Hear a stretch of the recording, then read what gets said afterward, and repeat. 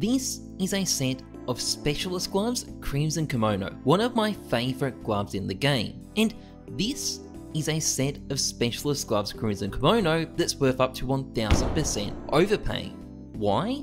Well, it's actually the pattern. The amount of red on a Crimson Kimono glove varies massively depending on the paint seed, and there are only four top tier patterns with maximum red, 0.25% of all Crimson kimonos unboxed, and because they look amazing, they cost an absolute fortune. Even get a crappy pair, you'll be paying 6 to 7 times overpay, and for a good pair, it'll be a lot more. So if you are dumb enough to open glove cases, watch out for them, because your stupidity might end up being rewarded.